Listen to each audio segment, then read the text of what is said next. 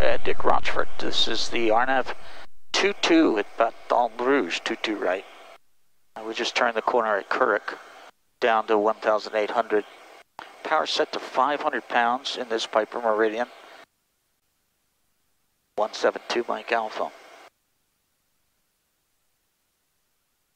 Once we turn the corner, we get the LPV, so we have RAIM.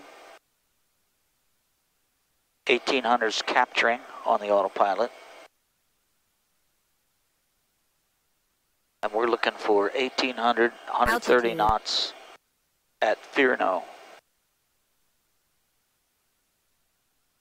Do I need to rearm the approach Uh, for the glide slope?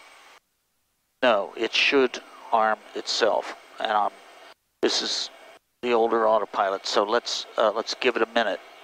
But remember, this happened the last time we Yeah. did this, and it armed by itself. It makes me a little nervous. But should it not arm, I believe we can tap the altitude button a second time. Pro 7 Delta Bravo, we're going to descend below this uh, layer. So Furno is the place where it should capture. So we're not going to wait too much longer. But we have to have LPV for it to capture. And we have to be... Uh, oh, the glide slope's present. It should have captured. Ah, I know what will happen. When the glide path turns white, when it goes active, it's going to arm. So let's Okay. watch that little process. That's as it worked last time.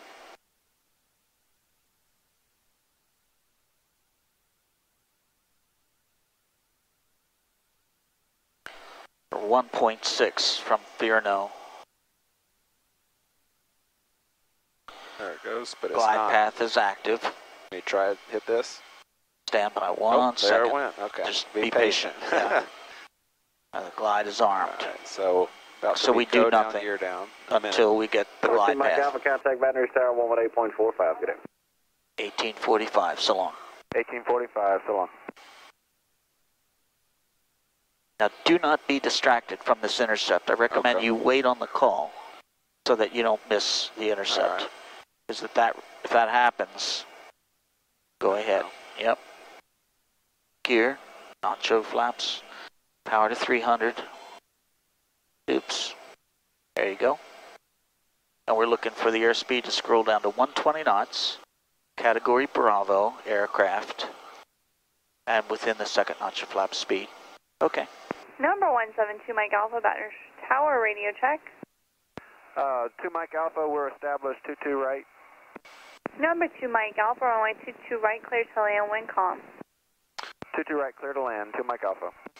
Alright, So, so, with the clearance to land, we turn on the landing light. The rest of the flow is done. Which way? Straight ahead. How low? DA, which for us today is 270 MSL. They're calling it 500 over, or broken rather. So we should see uh, the runway plenty soon enough. We're going to do one of two things. Runway in sight, we're going to tap off the autopilot with the red button, add the second notch of flaps, and keep our eye on the runway. Baton Rouge Tower to Alpha 4, clear of 4 left, holding short. If we don't see the runway, Roger. we're going to tap the toga button, pitch and power. Clean it, trim it. runway Autopilot on 920, the bases. No, sir. Take those flaps out. No, I didn't. Oh, didn't okay. hit What comes first? Autopilot off. Autopilot on. Alright, go ahead. Yeah, anytime you're ready. Second notch flaps. Now hold your head still, disconnect. and you'll see the runway stays pretty still. Base is uh, 920, 172 Mike Alpha. Thank you. Now just hold it as still as you can, wings level, in the crab, so no rudder They're reporting the wind's calm, so there shouldn't be too much to do. So the trick here is to defend the aim point. Pick a spot and make sure it's coming right at your eyes. If you hold your head still, it'll be easier to see that. One slower, add flaps, and now the next and last thing we need to do is cross that aim point at 90 knots, 85 in the flare. Notice how when you put in flaps, the nose bobs up.